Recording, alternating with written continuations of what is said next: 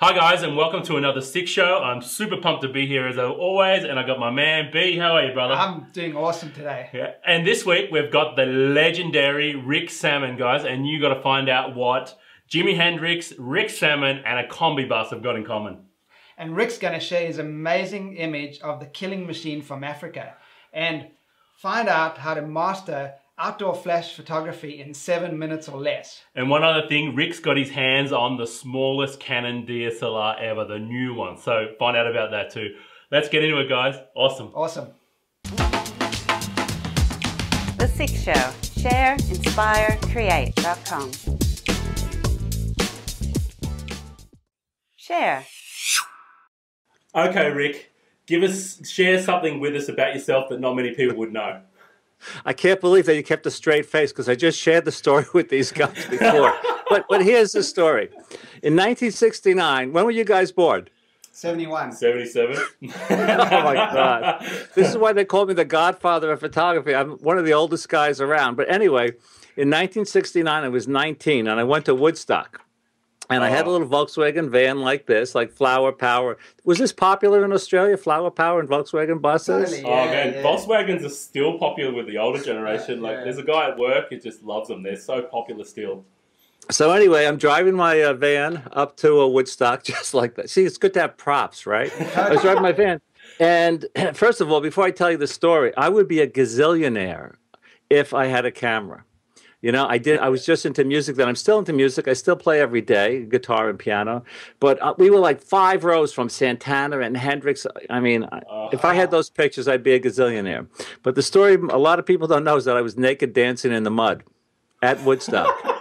So this is my big claim to fame. Actually, if you do a search, Rick Sammon Woodstock, you won't see that picture. we, we've deleted that. Yeah. But you will see a picture of uh, how I looked in 1969. But you know what, my friends? I'm still the same person inside. You know, I still, you know, I think music is creative, photography is creative. And I think, you know, although our bodies grow older, I think, you know, if we keep that spirit alive of, uh, you know, doing what we want to do and being fresh and freedom and all that stuff, you know, I think it's, I think that helps keep you young. Totally. And I think, yeah, like we spoke earlier about not taking things too seriously, I think that's uh, very important, Rick. And, and Well, thanks, thanks for that story. And I don't know if you realize, but my brain works in pictures. So when you said you were naked in the mud, I, I got these really bad pictures. I got great pictures, man. It's like freedom. oh, that's epic, dude. Epic. Inspire. so, Rick, um, inspire us with one of your great images and tell us the story behind it. Well, you know, I, I think uh, for photographers, uh, their pictures are like their children. They like them. You know, my parents always, we had four kids. They treated us, everyone the same, exactly, all the time. So, you know, I think with our pictures, they're like children. We, we like them all. So I have so many, uh, I have so many favorite pictures. I was just in Kenya in the Masai Mara. If, uh, if your listeners and viewers go on my website, ricksammon.com, and go on my galleries, in my one week on the Mara, one week on the Mara, there's a picture we have of, uh, of what's called as leopard. We call him the killing machine. We call him the killing machine. He's looking. He's looking like right at the camera. You know, a photography tip is, you know, when you're photographing an animal or photographing a person, if you see eye to eye and you shoot eye to eye, the person looking at the picture can relate more to the subject. So I'm getting down really low. I'm trying to see eye to eye, shoot eye to eye with this leopard, and he's looking all around. He's looking all, and then he looks. If you go on my site, you say it. He's looking like right at the camera, and we called him the killing machine. So this leopard's like 150 pounds or something like that or less.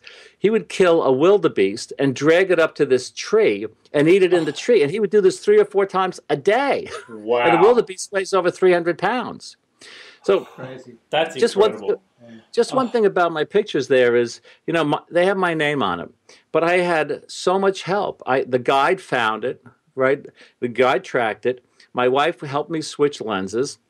And uh, we had my friend jonathan scott. I don't know if he's popular in australia but do you ever have big cat diaries down there? Yes. it's a tv show. Uh, Yes, I've heard of it. Yeah, I have. so anyway Yes. he was the host. So he, he loaned me his safari vehicle. So i actually only get a quarter of the credit and i do give credit where credit's due Oh, good, awesome, awesome. That's- so, tell, um, for those people that actually listen to this on a podcast, can you explain a little bit more about the image? You know, uh, what lens did you shoot it with, and what's in the background, that type of stuff. Right. Right. Well, actually, you bring up a good point because the background can make or break a shot. So I shoot probably actually, except for my HDR pictures and my flash pictures, I shoot everything on the aperture priority mode. So, I'm, because I, I really care how much the background is in focus or, or out of focus. So I took that picture with the relatively new Canon 70 to 300 millimeter IS lens.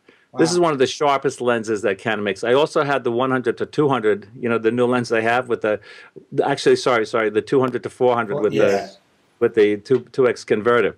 But anyway, the 70 to 300 is so sharp. So the thing is, I'm shooting down low, and I'm bracketing actually with the aperture to maybe put the background a little more in focus, a little out of focus. So I'm changing the aperture because you know there were a lot of twigs behind it. So I, I thought, well, I wanted to capture the feeling of Africa, but if I blew it out too much, it could look like we was taken at the Bronx Zoo. right? Yeah, true. So, so by seeing, you know, when I actually, so when I take a picture, I take of an animal or a person, I take what's called the environmental portrait, like the portrait in the environment. Then I go in for the for the headshot. Like in other words, if I were closer to the camera, uh, you know, just really close, you wouldn't know that I was in my uh, my office here. So I think that's good advice when you're photographing a person or an animal. Uh, take the environmental portrait and take uh, take the portrait. You tell the story because you don't know what you're going to like uh, afterward the best. Yeah, So- that's, that's a really good tip. And one thing that I love about it, I just love how he's just staring you down in that image, Rick. It's just just amazing. He feels like he's just going to jump out and grab you, you know? Like he's just, all that focus is just on the viewer. And he probably image. could jump out and grab He probably could.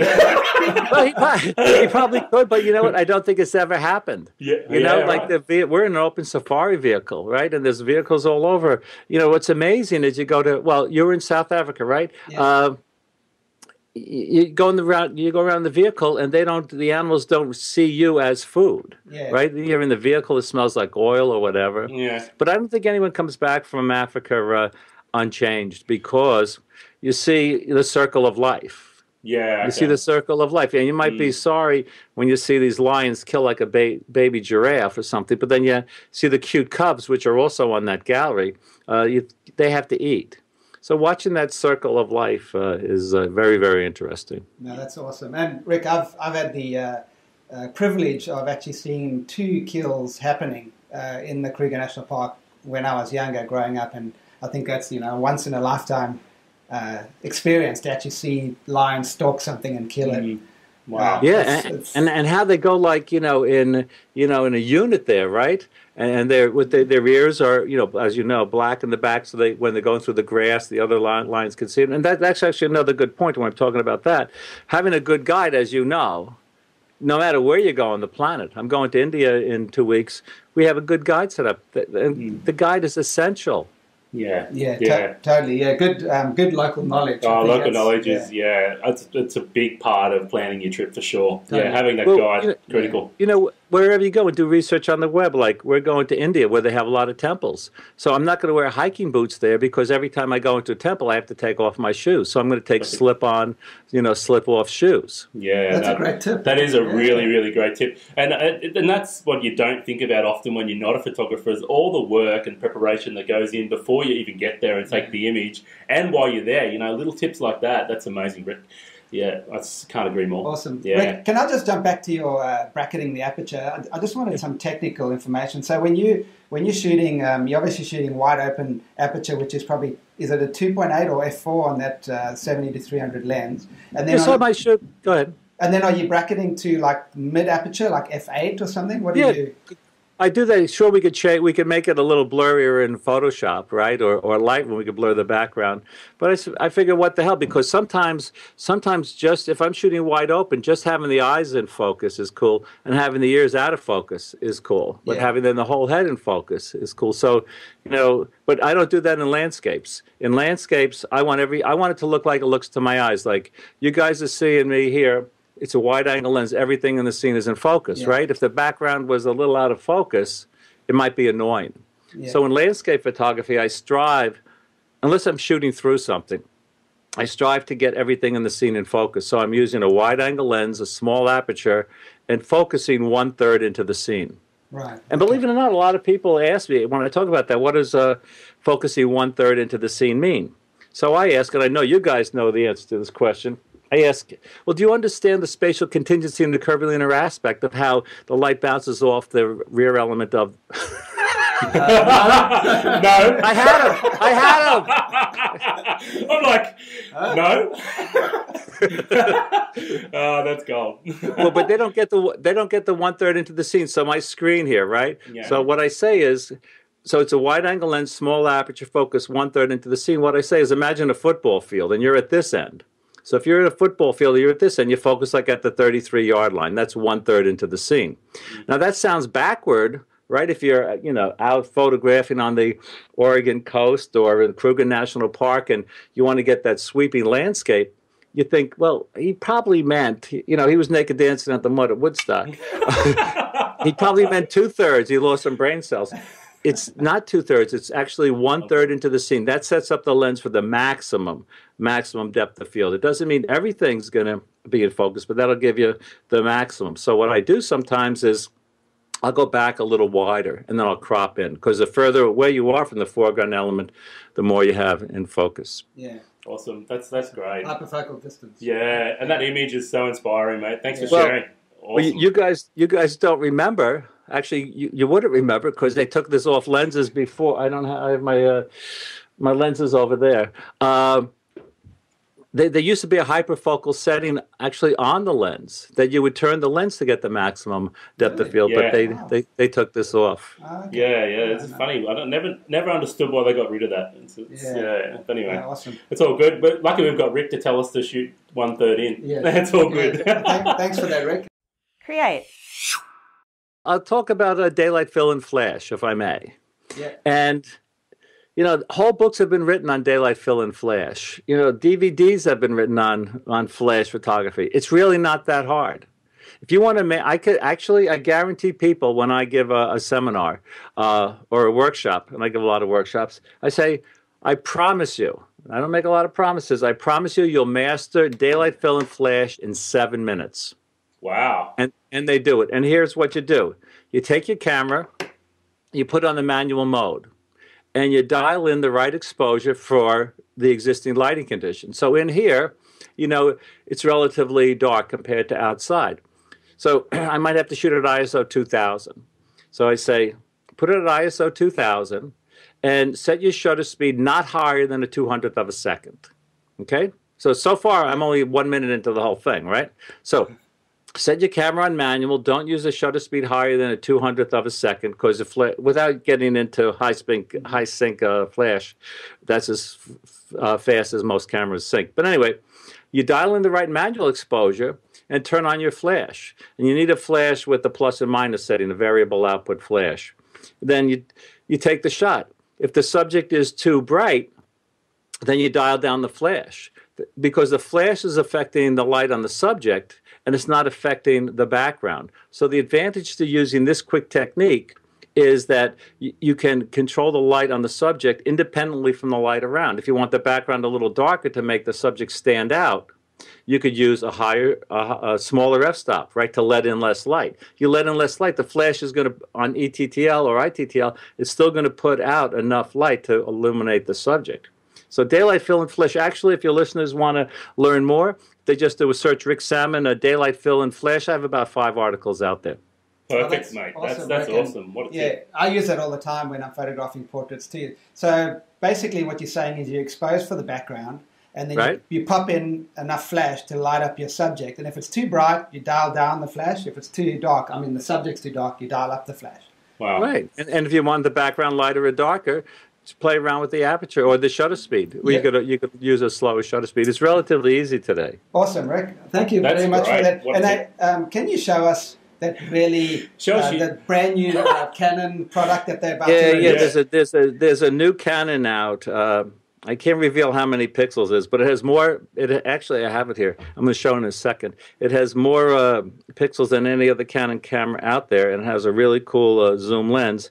And it, but it's relatively lightweight and uh, and compact. Oh, the reason I wore my black shirt here is so you could uh, see this really cool uh, device. And actually, the lens it's uh, the lens comes off. Look at this. So you can like Oh, wow. put this. You know, it makes it easy to put in like a camera bag. Yeah, yeah. man. I can see why you'd want to have to take the lens off. That thing's huge. and and the, and the tripod the tripod socket too. Yeah. Oh, really? so that looks like a 600 millimeter f4 lens, but is it actually a 6 millimeter f4 lens?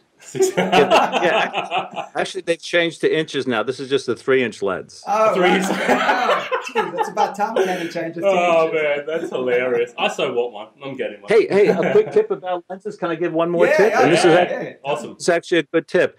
Cleaning cleaning your lens is really important. A lot of people, and this isn't a joke. A lot of people just clean their lenses, you know, like that. And they're just moving the dust around. But if you're shooting like into the sun, uh, you want to get that sunburst effect, for example, and shooting it with a wide angle lens, a tiny speck of dust could look like a big blob in your picture and ruin the shot. So what you want to do is you want to start from the middle and wipe out like this. Ah, that is a good Otherwise, you're just moving Yeah. this stuff all around. So it's a quick tip, but it's actually uh, it's a, a good tip. That's great. Uh, that's I- awesome. Yeah. That's an awesome Uh, tip. do you want to see my lens cloth, Rick? Yeah. Yeah. Oh, don't do it. Don't do it. Ah, no, we're terrible. Dodgy brothers. oh, nearly fell over. Uh, yeah, don't fall over, buddy. I can Yeah. get another coffee for you. Oh, that's awesome tip, Rick. Hey, um, I know you've got one one more thing you wanted to announce here today, mate. What have you got for us, buddy? Uh, one more thing. What was that? I forget. Oh, you told me you had something you wanted to tell us about. Uh, something that you haven't released yet or Something you about to haven't release. released yet. Or was that the camera? Uh, no, that, yeah, that was that was the camera. Well, uh, my photo sundial app, which actually works in Australia and South Africa, this is a pretty cool app. Uh, it tells you the uh, you know when the sun's going to rise, when it's going to set, has phases of the moon. It's on the uh, iTunes store. It's called Rick Sammon's Photo Sundial. awesome. Yeah. So it's uh, you know it's all about the light, and this uh, app will definitely help you find the best light. Yeah, I've actually checked that out, and it's awesome, guys. And here's the link to it now. It's a must to grab if you're if you're going to be out there, you know, shooting landscape or anything like that, and oh, even portrait, I suppose, Brent. You know what sun direction and stuff like that. Um, Definitely. Rick, I'm, I'm a landscape photographer, so all this portrait stuff is you've just you've actually taught me something today because I have no But- idea but- about but- stuff. But you could use that daylight fill and flash when photographing flowers. That's true, You macro. know, yeah. If you're macro for photographing flowers, because the, the goal with that is you don't want it to look like a flash picture. That's So by balancing the light from the flash to the available light, it it shouldn't look like a flash picture. Yeah, Awesome. awesome. Well, Thank you. Oh, thank you so much for being on today, Rick. It's been a pleasure having you, buddy. You've been Yeah. awesome. It's an honor to have you on, and um, Absolutely. and and just thinking of you dancing naked in the mud at Woodstock is just, just crazy. Yeah, that's that's pimping. Love it, man. Well, thank you guys so much. You're doing a great job. Keep spreading the word. It's uh, it's uh, it's really cool to be uh, with you. And uh, you know, before you came on, we talked about maybe doing a project together. So when we get off here, let's continue that, and maybe some of your listeners can join us on this uh, secret adventure. Ooh, Awesome, now guys, that yeah. sounds like fun. Definitely, yeah, guys. And, and just so that you guys know, we're going to put all the um, the links to Rick's products uh, in the show notes below. yeah, check out the show notes, and, and there'll be a link there to Rick's site and everything he does is is amazing. He's got so much going on. I don't know how he has time to do anything else, but uh, yeah, awesome, mate. We appreciate you being on. Thanks, Yeah, Rick. thanks, Rick. Cheers. Thanks, guys. Thanks. Man, I love Rick. He's the godfather of photography. I can't believe I love that title. I'm getting a shirt. Rick Sammon, the Godfather. he is awesome, dude. And that story about Woodstock. How would you believe it? Rick Sammon, legendary photographer at Woodstock, naked with a combi van. That's I just can't Ah. imagine. And the images in my head, Johnny. I don't know. I don't know if I can take that. no, but you got to remember he was probably 20 years old, so it's all good. He's probably fit and buffed. No, well, he is fit and buff. Yeah, he is now, but yeah. totally. so Like- anyway, like me. Yeah, like you. Yeah, unlike me. Yeah. yeah. And we're just talking earlier about uh, the killing machine and how that leopard can actually Oh. pull a, an impala or A Johnny or a wildebeest up yeah, a tree. yeah, yeah. But we're just thinking, there's no way it can pull Johnny up a tree. Well, unless there was two of them, you Yeah, know, the one's the pushing. Yeah, yeah, one's one's pulling. pulling, one's pushing. Oh, that's so funny, mate! And that image, it's so inspiring. That that leopard is just looking Ah. straight down the barrel of the camera at him, and every time I look at that image, it just hairs in the back Oh, of my neck, me mate. too. Actually, when he was talking about the hair Oh, on the back of my neck. I'm doing it now. That's Yeah, just yeah. amazing. Look, So I've inspiring. experienced that, guys, firsthand. Not a leopard, but I've, I've had a lion look at me straight in the eyes, and the lion's got those yellow eyes, Oh, yeah. and it's just there's no emotion in those eyes, and it's bloody scary. I mean, that's Oh. that's that's the only way to, to explain Oh, it. It's, it's scary when something looks at you and it's got eye contact, uh, and you know It could take you down. in Africa, I don't know if you guys realize, but in Africa, humans are about four or five down on the food chain. So there's about three or four species that Yeah. actively will hunt humans for food. So when Wow. you're there, you, you're not the top of the food chain anymore. That's You- You're a couple down. And, And when something's looking at you and it's thinking, I want to consume you, It's man. yeah, I know. That's crazy, bro. That is so crazy. And uh, that tip about the fill flash, man, I like. I'm a landscape photographer, and yeah, just those tips he gave was Yeah. just awesome, mate. It's killer. And the Killer. way he explained it, it's so easy. Yeah, You know, you can I it's know. exposed for the background, yeah, two hundredth of a second because that's the the sync speed of most flashes. They can't go much faster than that unless Yeah. you got on high high speed sync. yeah, And uh, and then just you know either cranking it up or cranking it down, whether Yeah. the person's too bright or not bright enough. I mean, Mm. that's so easy, and, Yeah. and that's a it's great amazing. tip. Yeah, yeah, awesome. He's the legendary. You can see why he's the godfather, man. Totally. You have a look at his website, and I just got an email. and have a look at his website, and the diverse range of images in his galleries, I and know. and to think all those images. It was Kenya, wasn't it? That Kenya album we had a look Yeah, at. Was it yeah, Kenya? yeah, all those images he shot in one week. yeah, Oh, just yeah. amazing! Like awesome um, environmental portraits and Yep. and you know cultural shots and and landscapes and Yeah. wildlife. He just Ah.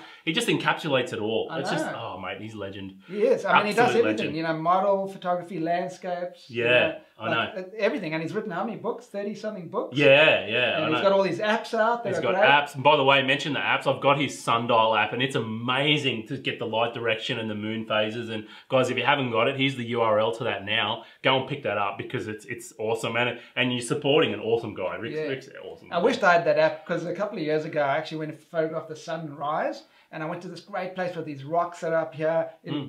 close to us in Boat Harbour. Yeah. And I, I got there at the right time, about you know 20 minutes before sunrise. I set everything up on my tripod, and I was waiting, waiting. I'm like, geez, the sun's never rising. And I looked, I'm like, oh, man, I must be wrong. I got the wrong angle. The sun was oh, actually Oh, yeah. over here, and I thought it was there, and I should have had that app. Yeah, portrait photographer. Yeah. It's all right. he should have had me with him.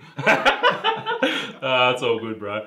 And uh, how about that little mini camera? It's, he's hilarious, I love it. mate. The, That the, little the Can- six millimeter. the six millimeter Canon DSLR. Oh, Yeah, I love it. he's got a wicked sense of humor. Oh man, And, but I like the tip of actually starting in the middle Ah, yeah. and moving things out. perfect, perfect. But bro. here's a tip, guys: t-shirt. I know he doesn't believe in it, but I mean, I use my t-shirt all the time.